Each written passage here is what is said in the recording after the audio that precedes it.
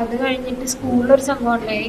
സ്കൂളിൽ വ്യാഴാഴ്ച അവധിയുള്ള ദിവസം എന്നോട് വന്നിട്ട് ചോദിച്ചു ഒന്ന് ജപമാല ചൊല്ലാവോ? എന്ന് ചോദിച്ചു.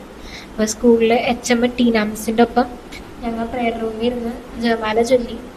ഒരു നാലെണ്ണം ചൊല്ലി. അത് കഴിഞ്ഞപ്പോൾ ഉച്ചയായപ്പോൾ പോകാം ഫുഡ് കഴിച്ചിട്ട് പോകാമെന്നും പറഞ്ഞിട്ട് പ്രെയർ റൂം അടച്ച് ഞങ്ങൾ പുറത്ത് പോയി ഫുഡ് കഴിക്കാനാണ് പ്ലാൻ ചെയ്തത് അപ്പോൾ ഓഫീസ് റൂമിൽ ചെന്നിരുന്നു. അപ്പോൾ തന്നെ മഴ നല്ലോണം തുടങ്ങി.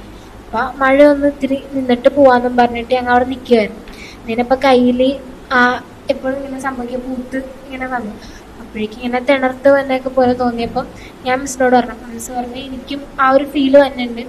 നമുക്കെന്നാ പ്രെയർ റൂമിൽ പോവാന്ന് പറഞ്ഞു. കയ്യിൽ എന്ത് എന്ത് തോന്നുന്നു ഇങ്ങനെ ഗൂസ് ബംസ് വരും. ഓക്കെ ഓക്കെ ഗൂസ് ബംസ് വന്നപ്പം മിസ്സും പറഞ്ഞു എന്റെ കയ്യിലും അങ്ങനെ തന്നെ വന്നിട്ടുണ്ട് എന്ന് പറഞ്ഞു. അപ്പൊ ഞാൻ പറഞ്ഞു എന്തൊക്കെയോ ഒരു സംഭവിക്കാൻ എന്ന് വെച്ചാൽ അന്ന് എനിക്ക് ആ ഒരു ഫീൽ ഉണ്ടായതുകൊണ്ട് എനിക്ക് എന്തൊക്കെയോ സംഭവിക്കാൻ എന്റെ മൈൻഡ് തന്നെ പറഞ്ഞു അപ്പം അത് ഞാൻ അങ്ങനെ പറയുകയും ചെയ്തു. അപ്പം മിസ് പറഞ്ഞു എന്നാൽ പ്രെയർ റൂമിൽ പോവാന്ന് പറഞ്ഞു. പ്രെയർ റൂം തുറന്ന് ലൈറ്റ് ഓൺ ചെയ്തപ്പോൾ തന്നെ മാതാവിന്റെ കണ്ണിൽ നിന്ന് ഇങ്ങനെ ബ്ലഡ് ഒഴുകി വന്നത് കണ്ടു. അത് ആരെയും അങ്ങനെ അധികം അറിയിച്ചില്ല. പിന്നെ ഈ ഒരു ഇൻസിഡന്റ് ഉണ്ടായപ്പോൾ എല്ലാവരും അറിഞ്ഞു ഏകദേശം.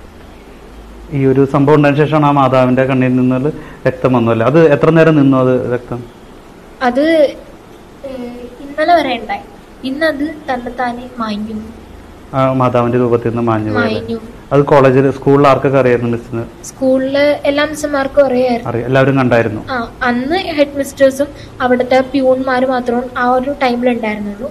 പിന്നെ അത് അറിഞ്ഞപ്പോ അപ്പ അമ്മയും അങ്കിളും ഒക്കെ വെല്ലിപ്പിച്ചൊക്കെ കൂടി സ്കൂളിൽ വന്ന് കണ്ടു. എന്തുകൊണ്ടാണ് എനിക്കിങ്ങനെ എന്തുകൊണ്ട് ദൈവം എന്നെ ഇങ്ങനെ തെരഞ്ഞെടുത്തു എന്ന് തോന്നിയോ? പക്ഷെ എനിക്ക് തോന്നിയത് ഫസ്റ്റത്തെ രണ്ട് പ്രാവശ്യവും എനിക്ക് ഇന്ന് തോന്നിയതാണത്. ഫസ്റ്റത്തെ രണ്ട് പ്രാവശ്യവും സംഭവിച്ചപ്പം ആരെ അറിയിച്ചിട്ടൊന്നും ഉണ്ടായില്ല.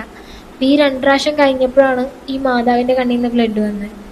അത് എന്തുകൊണ്ടാ മാതാവ് എന്തുകൊണ്ടാ മറ്റുള്ളവരെ അറിയിച്ചില്ല അവരെ വിശ്വാസത്തിലേക്ക് കൊണ്ടുവന്നില്ല എന്ന് ചോദിച്ചതുപോലെ എനിക്ക് തോന്നി.